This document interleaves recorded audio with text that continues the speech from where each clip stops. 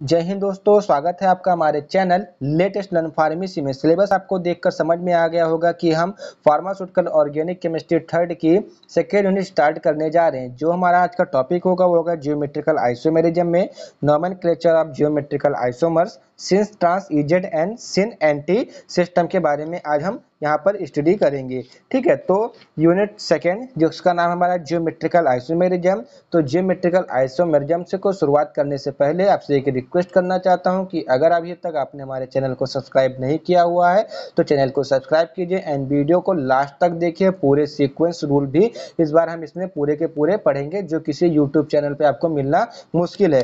ठीक है तो geometrical isomerism type of stereoisomerism ये एक प्रकार का स्टीरियो आइसोमेरिज्म होता है, जिसमें होता क्या है? जो कंपाउंड होता है, उसका मॉलिकुलर फार्मूला तो सेम होता है, लेकिन जो उसकी अरेंजमेंट होती है एटम्स की, वो अलग अलग होती है अराउंड डबल बॉन्ड अगर हम एग्ज़ाम तो अगर हम एग्ज़ाम्पल के माध्यम से कुछ ऐसे समझना चाहें कि जैसे कोई आपका मॉलिकुलर स्ट्रक्चर है, जैसे लाइक एज ये आपका मॉलिकुलर स्ट्रक्चर है, ठीक है? ये आपका है, ठीक है? तो इसमें क्या होगा कि जो इसका मॉलिकुलर फार्मूला क्या होगा? C two A one B one C one D one होगा, ठीक है? तो इसका क्या होगा? मॉलिकुलर फार्मूला तो सेम होगा, लेकिन जो इसकी अरेंजमेंट होगी वो डिफरेंट हो जाएगी। मतलब कहने का क्या है कि ये इसका इस तरह फार्मूला है तो इसका इस तरह भी फार्मूला यहाँ सी आ सकता है, यहाँ बी आ सकता है, यहाँ पर ए आ सकता है, यहाँ पे डी आ सकता है। तो इसी को बोलते हैं ज्योमेट्रिकल आइसोमेरिज्म मतलब कंपाउंड का जो फार्मूला होगा जनरल फार्मूला होगा, वो सेम होगा, लेकिन जो उसके स्पेशल अरेंजमेंट होगा, उसका जो मतलब जियोमेट्रिक स्ट्रक्चर होगा, वो डिफरेंट होगा और इसमें एक चीज़ ये होगा कि ये जो जियोमेट्रिकल आइसोमेरिज्म होते हैं, वो आपको एल्केन में ही स्पेशली देखने को मिलेंगे। एल्का एल्केन में नहीं देखने को मिलते हैं। ठीक है एल्केन में आपको ऑप्टिकल देखने को मिलेगा।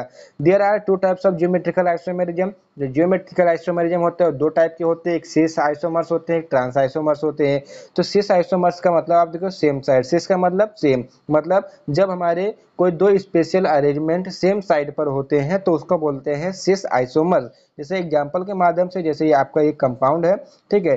तो कार्बन से ट्रिप डबल बाउंड से कार्बन जुड़ा हुआ है, ठीक है? कार्बन डबल बाउंड कार्बन और यहाँ पर आप देख रहे हैं कि बी और बी हमारा कोई स्पेशल अरेंजमेंट है एटम्स का, ये दोनों एक साइड में है और ए भी आपका एक ही साइड में है। तो इसका मतलब क्या हो गया कि ये सिस आइसोमर्स हो गया। अभी इसका हम आगे डिटेलिंग में पढ़ते हैं, ठीक है? अगर वहीं अगर हम कंपाउंड कंपाउंड का कोई लेना चाहिए सिस टू ब्यूटानोइडोइक एसिड जैसे इसको मैलिक एसिड भी बोलते हैं तो इसमें आप देख सकते हैं कि सी ओ एच और सी ग्रुप आपके दोनों एक साइड में है और हाइड्रोजन एटम आपके एक साइड में है। तो इसको क्या बोलेंगे आप? सिस आइसोमर्स और दूसरा जो टाइप होता है, हमारा क्या है? ट्रांस आइसोमर्स ट्रांस आइसोमर्स का मतलब क्या? अपोजिट दिशा में। मतलब जो स्पेशल मॉलिक्यूल का मतलब सिमिलर ग्रुप के मॉलिक्यूल्स होंगे, उनका जो अरेंजमेंट होगा, वो दोनों मतलब अपोजिट साइड में जाएगा। If two similar groups atoms are present on the opposite side of the double bond called trans isomerism जैसे एग्जांपल के माध्यम से कार्बन डबल बॉन्ड कार्बन से आपका जुड़ा है, ठीक है? तो यहाँ पर आप देख लें कि बी यहाँ पर है स्पेशल अरेंजमेंट और यहाँ पे बी का स्पेशल अरेंजमेंट तो ये क्या है उसके अपोजिट साइड पर है। ए के अपोजिट साइड पर ए है। तो इसको क्या बोलेंगे आप? ट्रांस आइसोमर्स तो ये सब हमारा क्या है? एक इंट्रोडक्शन है, ठीक है? अब इसमें अगर हम कोई एग्ज़ाम्पल के माध्यम से जैसे फिमारिक एसिड है तो फिमारिक एसिड में आप देख सकते हैं कि हाइड्रोजन हाइड्रोजन अपने अपोजिट साइड में है और कार्बोक्सिलिक ग्रुप अपने अपोजिट साइड में है। तो ये हमारे क्या होते हैं? ट्रांस आइसोमर्स कहलाते हैं।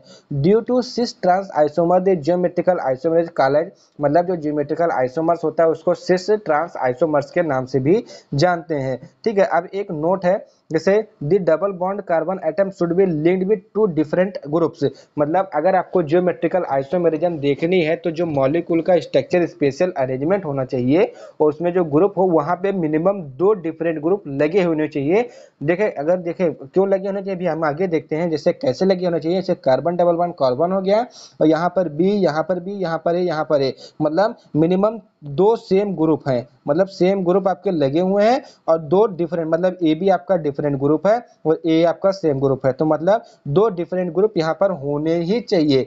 If some group are attach to a carbon atom resulting structure are similar no geometrical isomerism इसका मतलब क्या है कि अगर ऐसा होता है कि जैसे मतलब अगर आपके दो डिफरेंट आइटम नहीं है, एक ही डिफरेंट आइटम है तो आपको यहाँ पर स्पेशल अरेंजमेंट आप इस तरह से देखिए कि ए भी यहाँ पर है, यहाँ पर भी ए यहाँ पर भी है तो आप ना अपोजिट देख सकते हैं, ना सिमिलर देख सकते हैं। अपोजिट देखेंगे तब भी आपका ट्रांस आ रहा है, अगर सिमिलर देखेंगे तब भी आपका ए ए ए ही आ रहा है तो मतलब सिस आ रहा है। तो यहाँ पर जो जियोमेट्रिकल आइसोमेरिज्म होगी, वो सो नहीं होगी। देन आता है प्रॉपर्टी जो आप जियोमेट्रिकल आइसोमेरिज्म अगर एग्ज़ाम में आपसे जियोमेट्रिकल आइसोमेरिज्म के बारे में पूछता है तो आपको उसकी प्रॉपर्टीज़ भी लिखनी पड़ेगी, तब आपको फुल एंड फुल मार्क्स मिलेंगे। ठीक है? है मतलब जियोमेट्रिकल आइसोमेरिज्म का क्या मतलब होता है? फिर से बताइए आप लोग, एक बार अपने मन में दोहराइए कि जिसका स्ट्रक्चर अलग होता है और उसका फार्मूला क्या होता है? सेम होता है। तो हैव सेम स्ट्रक्चर फार्मूला जो स्ट्रक्चर फार्मूला होता है, वो सेम होता है but different special arrangement of the atoms मतलब जो एटम्स के अरेंजमेंट होते हैं, वो अलग अलग होते हैं। ठीक है? अब इसमें हमारे आते हैं, जैसे क्या trans isomers are more stable than cis isomers क्यों होते हैं? जैसे जो सिस आइसोमर्स में होते हैं सेम ग्रुप पे मतलब सेम साइड पे ग्रुप लगे होते हैं, जिसके कारण से वहाँ पे इलेक्ट्रॉनिक रिपल्सन ज़्यादा होता है, और जब ज़्यादा इलेक्ट्रॉनिक रिपल्सन होगा तो वो हमारा जो प्रोडक्ट होगा, वो सबसे ज़्यादा हमारा अनस्टेबल हो जाएगा। तो वही हमारे ट्रांस आइसोमर्स में अपोजिट साइड पे लगे होते हैं, जिससे कारण क्या होता है, उसमें रिपल्सन नहीं हो पाता है, और वो ज़्यादा स्टेबल होते हैं, ठीक है? Cis isomers and trans isomers can converted by using external heat UV light and catalyst कहने का मतलब क्या है? जो सिस आइसोमर्स है और ट्रांस आइसोमर्स को आप कन्वर्ट कर सकते हैं by applying external heat temperature बढ़ा के यूवी लाइट के द्वारा एंड कैटालिस्ट के द्वारा। और क्या हो जाएगा? वहाँ पे पाइप बॉन्ड ब्रेक ब्रेक हो जाएगा और आपका एक सेचुरेटेड कंपाउंड मिल जाएगा। ठीक है? Geometrical isomers have different physical and chemical properties मतलब जो हमारे सिस ट्रांस के होते हैं, उनके दोनों के पास डिफरेंट डिफरेंट प्रॉपर्टीज़ होते हैं। Hence they are separated by gas chromatography and fractional distillation.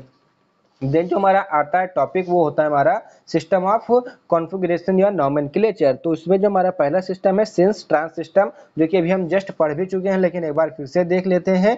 It is the most common system in which cis and trans are prefixed मतलब सिस एंड ट्रांस को आप प्रिफिक्स के तौर पर आप यूज़ करते हैं before the name of the alkene किसी भी एल्किन का नाम लिखने से पहले।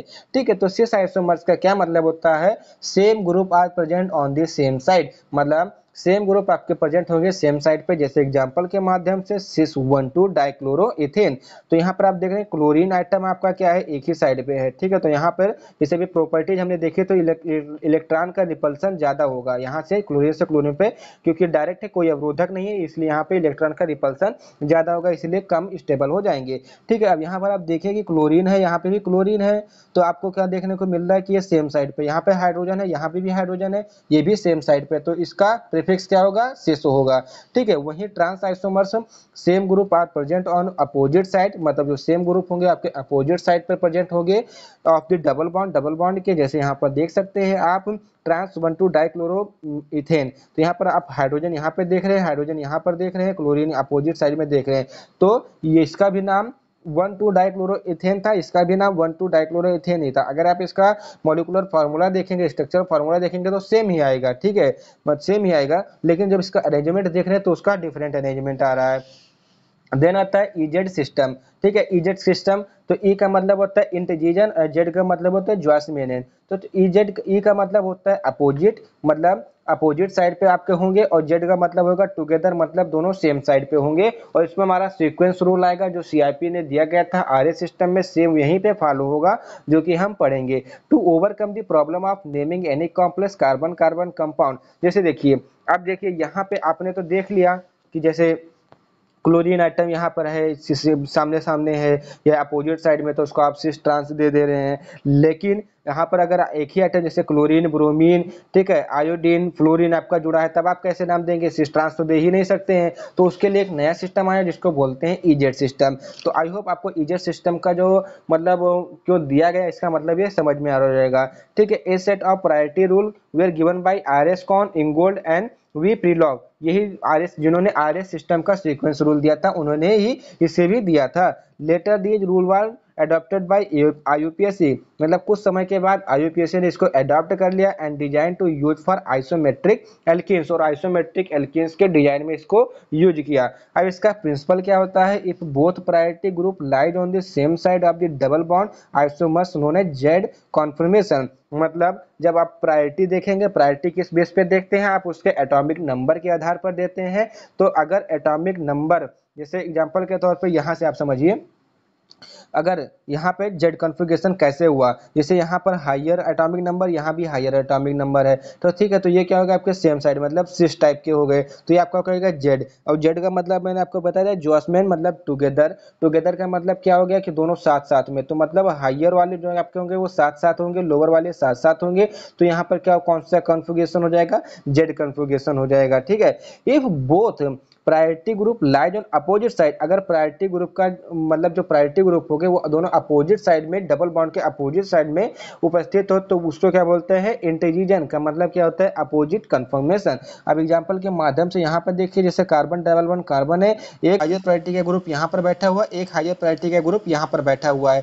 तो इसका क्या मतलब हुआ कि ये अपोजिट साइड में हो गया तो इसका जो कन्फर्मेशन बनेगा, वो क्या हो जाएगा?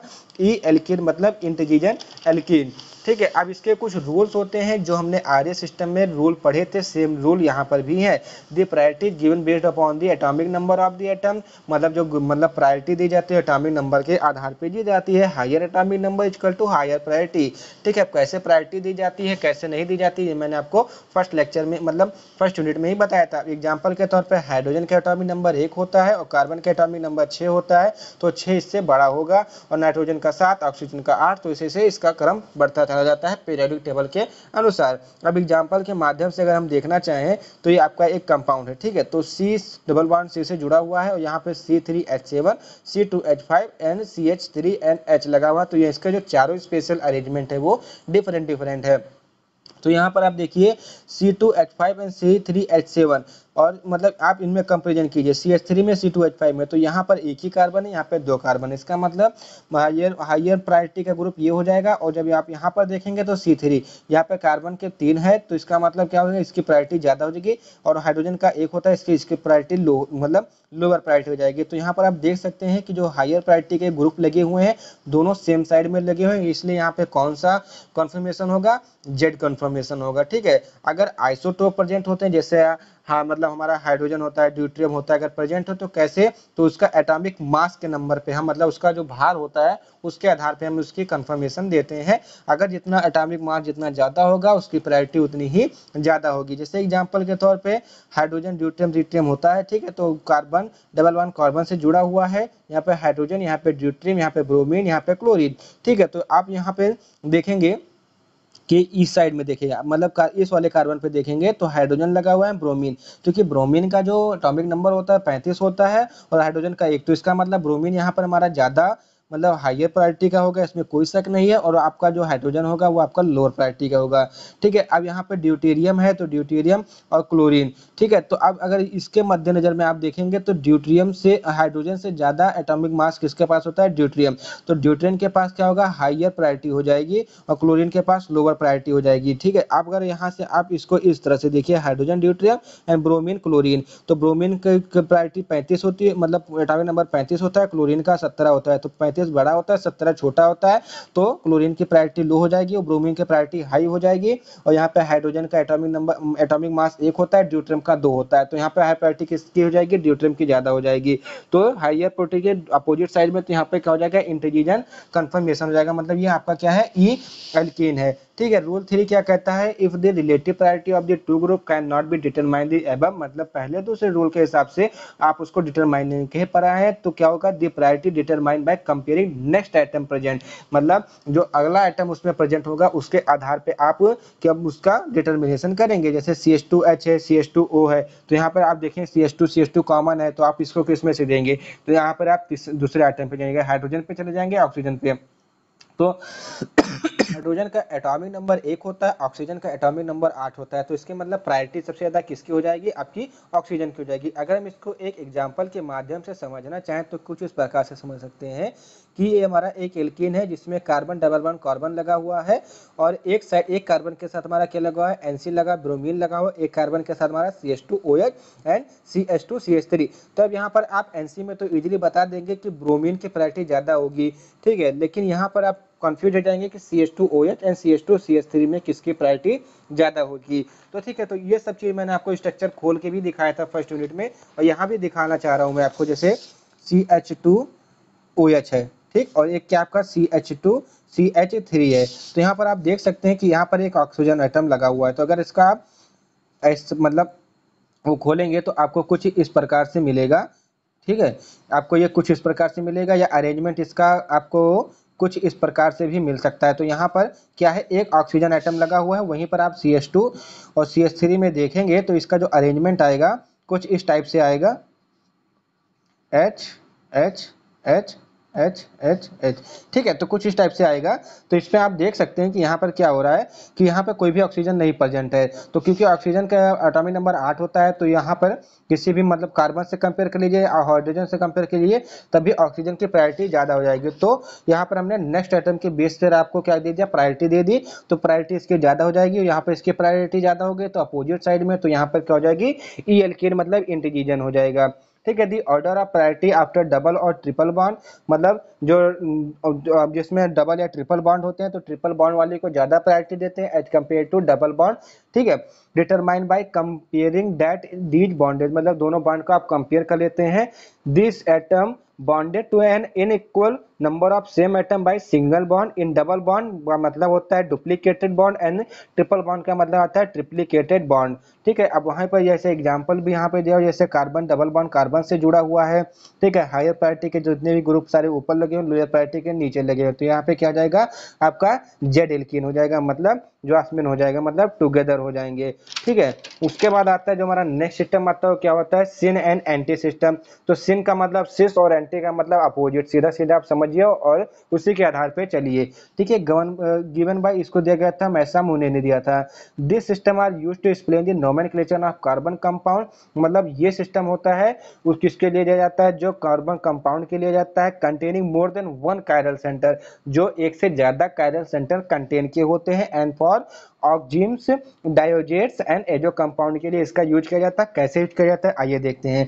जैसे सिन आइसोमर्स का क्या मतलब है? Isomers in which hydrogen and hydroxide ion group are on the same side मतलब जहाँ जिस भी कंपाउंड में आपके हाइड्रोजन एंड हाइड्रोक्साइड आयन आपके सेम साइड में प्रेजेंट होगी, उसको आप क्या बोलेंगे? सिन आइसोमर्स जैसे ऑक्जाइम्स कंपाउंड है। यहाँ पर आप देख सकते हैं कि जो इसका मॉलिकुलर स्ट्रक्चर बना हुआ है, और हाइड्रोजन और हाइड्रोक्साइड आयन आपको सेम साइड में मतलब सेम दिशा में देख रहे हैं। तो इसका मतलब क्या हो जाएगा? सिन बेंजार डॉक्सिम हो जाएगा, ठीक है? तो इसका नाम क्या हो जाएगा? सिन मतलब सिन क्यों होगा? क्योंकि हाइड्रोजन और हाइड्रोक्साइड आयन जो है, वो आपके मतलब जो कंपाउंड मतलब एलिमेंट है या आयन है, वो आपके एक ही साइड एक ही साइड में प्रेजेंट है। अगर इसी को आप इन कीटोकजाई में देखें तो यहाँ पर आप देख सकते हैं आर सी ओ आर लगा है तो इसका मतलब क्या हो जाएगा? C S three C N C H two H O H तो यहाँ पर हाइड्रोजन आइटम इसका यहाँ पर इसकी प्रायोरिटी ज़्यादा होगी H compare to C H three तो सी टू एच फाइव हम यहाँ पे लेंगे प्रायोरिटी के माध्यम से। तो यहाँ पे आपको देख सकते हैं कि हाइड्रोजन आइटम और ओ एच आपका एक साथ लगाओ तो यहाँ पे सिन एथाइल मेथाइल कीटोक जाइम हो गया। ठीक है, यहाँ पर कुछ लोगों को ये समझ में नहीं आ रहा कि यहाँ पे भी हाइड्रोजन है, यहाँ पर भी हाइड्रोजन है। लेकिन हम इसको प्रायोरिटी के हिसाब से लेते हैं। मतलब अगर इसकी प्रायोरिटी कम है तो इसको हम छोड़ देंगे, इसकी प्रायोरिटी ज़्यादा है तो इसको हम उठा लेंगे। ठीक है तो इसीलिए यहाँ पर प्रायोरिटी ज़्यादा है तो इसलिए इसको यहाँ पे सिन बोला गया है एथाइल मिथाइल कीटोक जाइम ठीक है, वही हमारा दूसरा जो है एंटी आइसोमर्स है। तो anti isomer these isomers in which मतलब hydroxide and hydrogen are on opposite side मतलब हाइड्रोजन और हाइड्रोक्साइड आयन जो होंगे आपके अपोजिट साइड में प्रेजेंट होंगे, जिसको आप क्या बोलते हैं एंटी आइसोमर्स अब एग्ज़ाम्पल के तौर पे समझिए C six H five carbon H N N O H यहाँ पर आपके ओ एच लगा हुआ है और यहाँ पर एच लगा हुआ है। तो यहाँ पर देखिए एच और ओ एच आपके अपोजिट साइड में लगे हुए हैं। तो इसका मतलब क्या है? एंटी बेंजल डॉक्सिम है। तो आई होप आपको वीडियो समझ में आया होगा। अगर वीडियो आपको समझ में आया तो चैनल को सब्सक्राइब कीजिए, वीडियो को लाइक कीजिए एंड कमेंट करके हमको ज़रूर बताइएगा कि आपको वीडियो कैसा लगा। Thank you for watching the video from the latest learn pharmacy